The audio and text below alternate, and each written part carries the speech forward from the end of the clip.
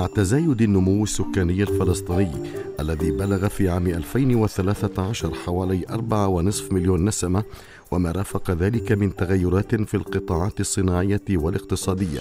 أوجب وبشكل ضروري تطوير القطاع الصحي ليواكب ويلبي متطلبات العصر وحيث لا يمكن لهذا التطور أن يطرأ دون استخدام المعلومات المتوفرة بالشكل الأمثل في صناعة القرار على كافة المستويات الإدارية والتقنية على الصعيد الوطني.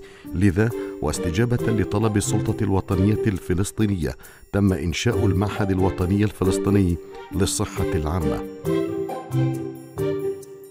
المعهد الوطني الفلسطيني للصحة العامة هو مشروع تقوم بتنفيذه منظمة الصحة العالمية بتمويل من الحكومة النرويجية وبطلب من السلطة الوطنية الفلسطينية وبالتعاون مع المعهد الوطني النرويجي للصحة العامة. والهدف من إنشائه هو رفض القطاع الصحي الفلسطيني بالمعلومات اللازمة لاتخاذ القرار في مجال الصحة العمومية فلسطين وبالتعاون وبالشراكة مع مؤسسات وطنية فلسطينية أخرى.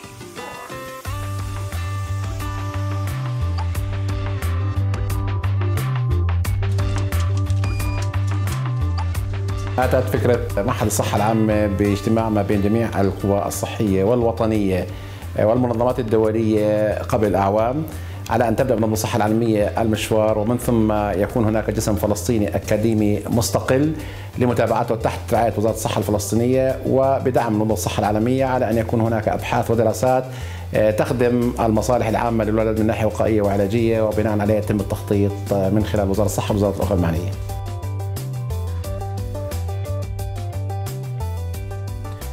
يعمل المعهد من خلال اعتماد الأبحاث العملية المبنية على المنهج العلمي التعليمي بالإضافة إلى البيانات التي تزودها المستشفيات والمرافق الصحية الأولية الموجودة في كل المحافظات الفلسطينية وأيضا تلك البيانات التي يتم رصدها والمتواجدة في السجلات الوطنية.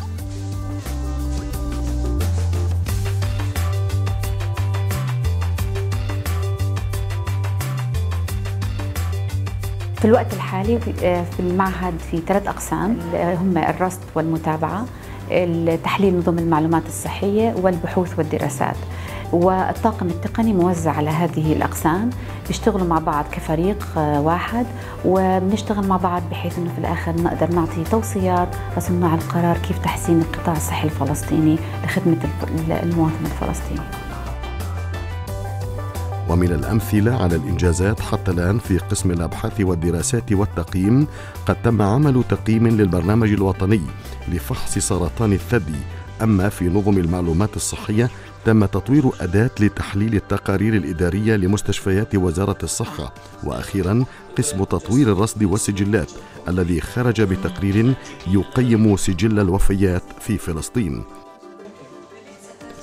ولمتابعة إنجازات المعهد وتقييمها بشكل مستمر تم تشكيل لجنة استشارية تضم أعضاء ذوي خبرة في مجال الصحة العامة في فلسطين تقدم النصح والاستشارة اللازمين بما يتعلق بالمشاريع المستقبلية للمعهد. حاولنا ندمج أكثر من طرف آه، بحيث أنه يكون في عنا ممثلين من مختلف المؤسسات والقطاعات سواء كان الأكاديمية أو غير الأكاديمية. بالإضافة لذلك إحنا بنحاول نستغل الأبحاث بحيث أنها تجاوب على أسئلة محددة آه، بيكون صانع القرار مهتم يعرف النتيجة. فإحنا بنحاول من خلال البحث العملي والتطبيقي إنه نزوده بالإجابة بحيث إنه يقدر من خلالها يعرف مناطق الضعف، مناطق القوة في آه، العملية الصحية وكيف بيقدر يوجهها بالاتجاه الصحيح.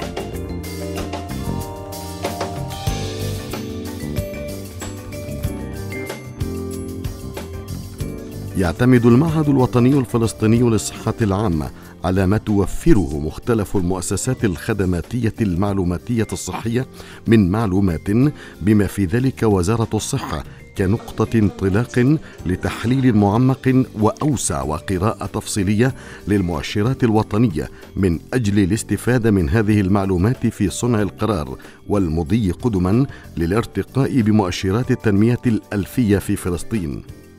ويدا بيد ندعم ونقوي ركائز وجودنا الحضاري مواكبين التقدم والنمو لتحقيق الأمان الصحي للمجتمع متطلعين نحو غد متجدد صوب المثالية.